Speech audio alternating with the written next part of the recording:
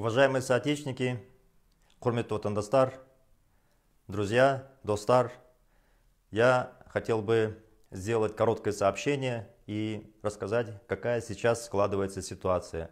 Как я и говорил, будущее нашей страны сейчас находится фактически в руках жителей города Астаны и города Алматы.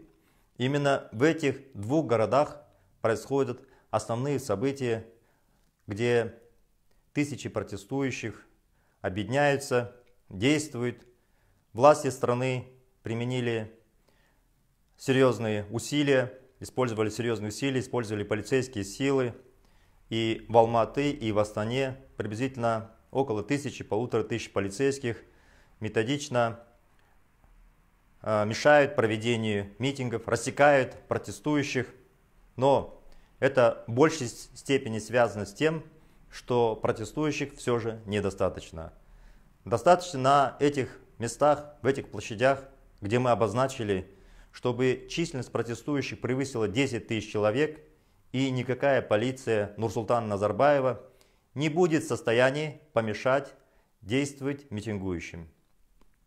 Сейчас я хотел бы дать короткую информацию сначала по Алматы, а потом по Астане. В Алматы было оказано серьезнейшее давление со стороны полиции, и сейчас протестующие собрались около театра оперы и балета, чуть ниже. Это Панфилова, где-то улица Бугимбай-Батыра. Сейчас там собрано э, ядро протеста, несколько сот человек, минимум 300 человек, плюс на различных углах находится еще, то есть как минимум тысяч человек в этом направлении сосредоточены и собраны на разных э, переулках, небольших улицах и так далее. Полиция устала. Вы сами это видите. Полиция измотана. В Алматы они даже привлекли молодых ребят, 16-17-летних молодых ребят, их около 200 человек в этом училище учатся, молодых кадетов, то есть фактически детей. То есть Назарбаев до такой степени напуган, полицейских сил не хватает, что э, в бой брошены дети. Уважаемые алматинцы, поддержите протестующих, по всем нашим планам мы планировали сегодня стоять и ночью, и завтра. И завтра, когда будут объявлены итоги выборов, а вы знаете, что итоги выборов уже известны, массовые фальсификации, вброс бюллетеней, весь интернет заполнен такими фактами, используют самоисчезающиеся а, записи, чернил, чернила, которые пропадают и таких технологий с учетом карусели и все прочее власть применяет, как всегда, множество. Поэтому вы все прекрасно заранее знали, что эти выборы фальсифицированы. Ну и сейчас тоже в интернете очень много фактов, которые подтверждают, что эти выборы были сфальсифицированы. Поэтому, уважаемые алматинцы, я обращаюсь к вам с призывом поддержать протестующих как только нас соберется более 10 тысяч человек, сразу эта численность как минимум удвоится или утроится, поддержит фактически весь город. Мы ожидаем, что вы поддержите тех протестующих, которые находятся около театра, оперы и балета.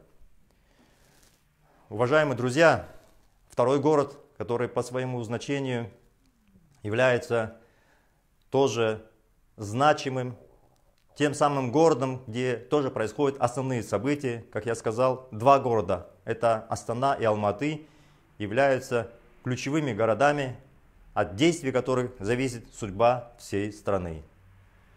В Астане сейчас около дворца Жастар собралось несколько сот человек. На расстоянии где-то приблизительно полкилометра еще большие группы людей.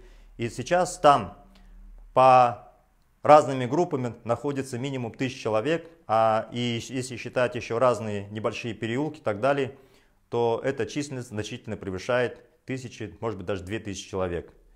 Но для того, чтобы протест был успешный, нам нужно, чтобы количество протестующих было больше 10 тысяч человек. Многие из вас вчера еще сомневались, не верили, что даже 100 человек придут, писали в интернете, может быть 200 человек придут, что полиция всех скрутит. Имейте в виду, что при этом всем, что полиция сегодня задерживала десятки людей, и все отделения полиции были заполнены протестующими, и затем эти автобусы задержанными ездили по городу, и они в итоге были выпущены, потому что их фактически было девать некуда. Уважаемые друзья, теперь вы знаете, что на площадях страны стоят тысячи протестующих. Уже есть ядро сопротивления. Во многих странах так и происходила смена режима. Так было в Армении, так было в Грузии. У нас сегодня исторический шанс. У нас сегодня историческая возможность в связи с тем, что в нашей стране находится больше 250 иностранных журналистов. В нашей стране находится свыше 1500 международных наблюдателей. За этими выборами следит международное сообщество и постоянно идут сообщения о массовых фальсификациях на этих выборах. Друзья, у нас серьезная возможность добиться успеха именно сегодня, именно сейчас. Для этого просто нужно объединиться.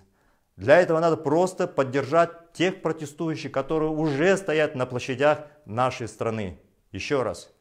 Астана – это дворец Жастар. Около дворца Жастар сейчас есть скопление, большое количество протестующих. Да, там есть полиция, но когда эти места появятся поддерживающих тысячи и тысячи, полиция ничего не сможет сделать. То же самое по Алматы. Около театра оперы и балеты, балета Панфилова Кабамбай-Батыра сейчас собралась серьезная группа протестующих. Поддержите их, поддержите. Протестующие не планируют никуда уходить. Протестующие подготовились к длительному протесту. Нужна ваша поддержка. И мы вместе с вами изменим эту страну. Мы вместе с вами добьемся успеха. Алга, Казахстан!